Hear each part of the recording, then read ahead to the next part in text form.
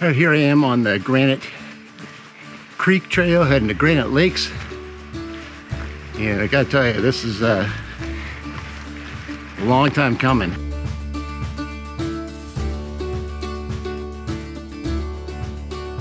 Had a few injuries and a few uh, health mishaps. Oh wow, look at that tree. Isn't that amazing? Yeah, I had uh,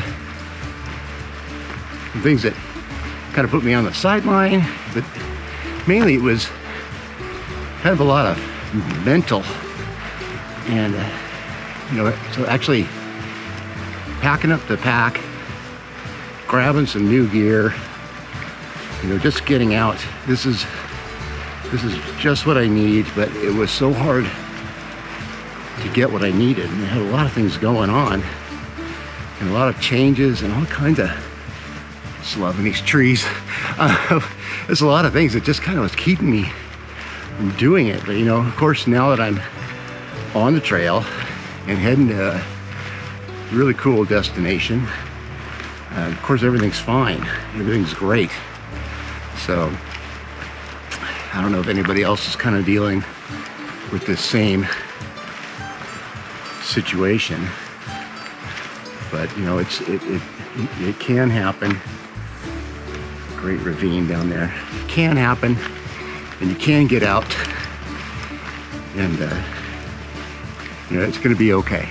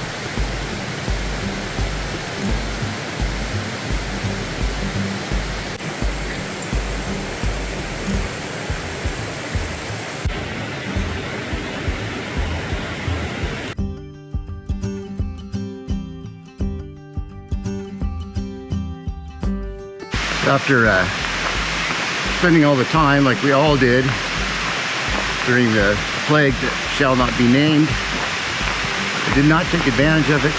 I uh, kind of was lazy, got gained quite a few pounds, and uh, yeah, well, hello. How you doing? Good,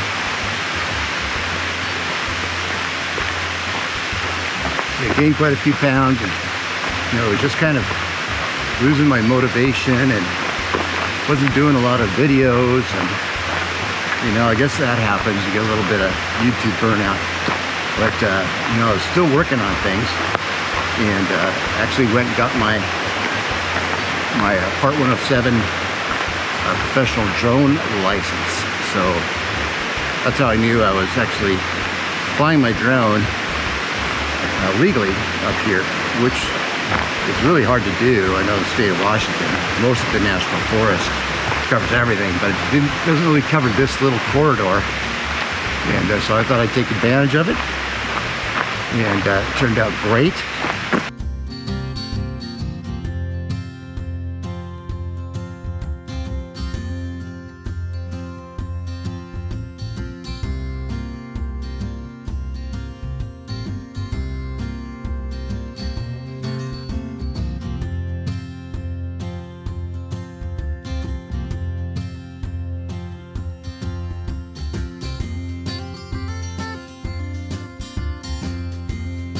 So I try and put my tree straps basically as high as I can get them. I do the Marlin spike is how I like to do it. Got some other setups to do it other ways, but this is actually my favorite way of doing it. So I can get these long, long, long straps because we have like big Doug firs up here. So I have to bring pretty long, like 12 foot straps to get around trees sometime. Uh, these are obviously little tiny trees. Is always the fun part. I never know which hammock I have. Um, I like all my hammocks. Some of them are a little more stretch, which I prefer stretch. Um, this one had the bug net all line. See, I'm using the eighth inch AmSteel on this particular one, which gives me plenty of leeway as far as strength. You know, yes, this is the I forgot what they call it, but it's the breathable, the breathable one. Do some.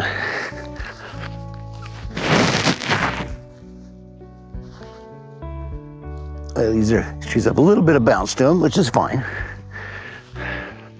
Tighten her up a little bit.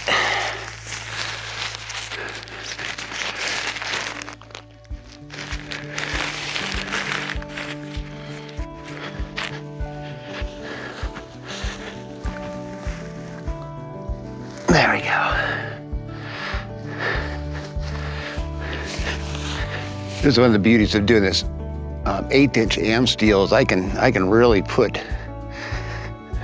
put this the tension on it and it's not even going to budge.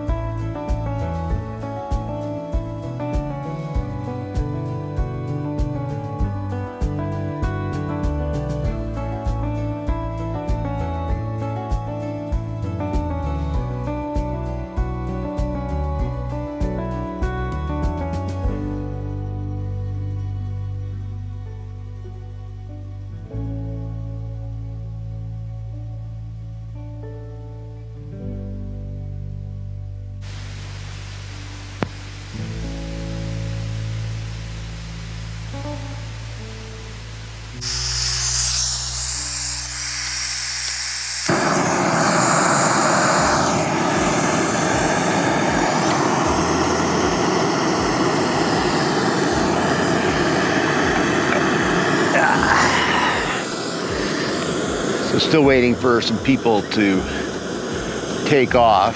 I'm I am in a legal drone flying area. Um, checked with the FAA. It's one of the few areas where you can come up into the mountains and do drone work, but I still would rather not bother anybody. So I'm just waiting for the last uh, couple people to leave. And uh, so anybody's wondering if this is illegal to fly the drone, it's not. So this is, uh, I'll check with the FAA. So I've to have uh, just your good old fashioned mountain house spaghetti uh, with meat sauce and I'm going to uh, that up with a little dessert later on. But um,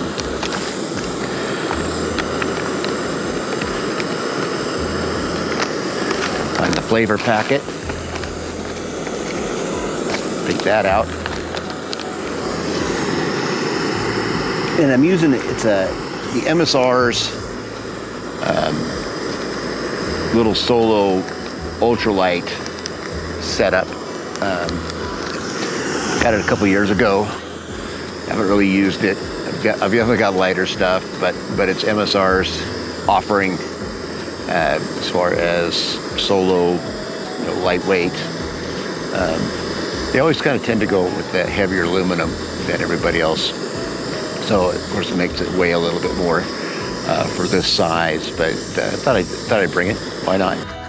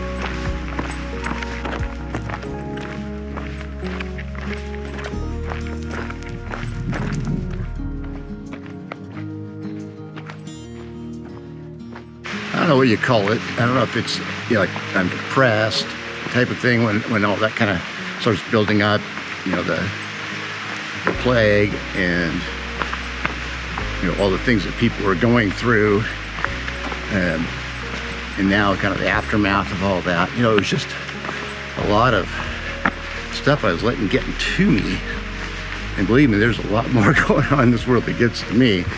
But what I really needed was a good dose of nature, of physical exertion, of, you know, kind of minimalism to get everything into one pack, um, get my photography video stuff, you know, condensed down to where it's something I think I can I can use. I got a big hike later this year. Um, won't be able to take the drone on that one, but uh, you know, I think I've got um, the right pack. This is the Osprey uh, Exos 58. It has all the cool Osprey features that I really love. It can hold my my uh, tripod. Uh, it's got the great ventilation, great pack. That's kind of interesting because I had the whole lake to myself for quite a while, and uh, then the people showed up late last night and camped out right by me. But then they slept in nicely, so I again had a real quiet uh, lake and surroundings to deal with. It was a beautiful, misty morning, and and, uh, I saw this. You know, I didn't think there was any fish in in the lake. I just hadn't seen any, and this one, you know, it was probably 14 inch, big fatty trout swam right in front of me. So I did get my Tenkara stuff out, and I uh, didn't see any more fish other than that, but I had to try, of course. Uh, but yeah, he was a beautiful fish. Um, there's a lot of reeds on the other side of the lake, so maybe that'd be a better spot to go fishing. But then the day hikers started showing up, and it's just amazing. You know, they, they there's certain people that just and it just piercing the sound of this talking. And you're on a lake, so of course it's traveling everywhere. And uh, so with that, I decided to go for one last swim, pack up my gear, and uh, get going. You know, things have been lifted quite a bit. You know, I've got to maintain that, you know, back in reality. But, you know, the smell, I mean, there's certain smells, of course, of the forest. There's smells of the berries that are coming out. You know, it's just a, just a wonderful, you know, the air, the sights, the sun, even the even the clouds and the mist this morning, are all just, just magical. So it was really good for me.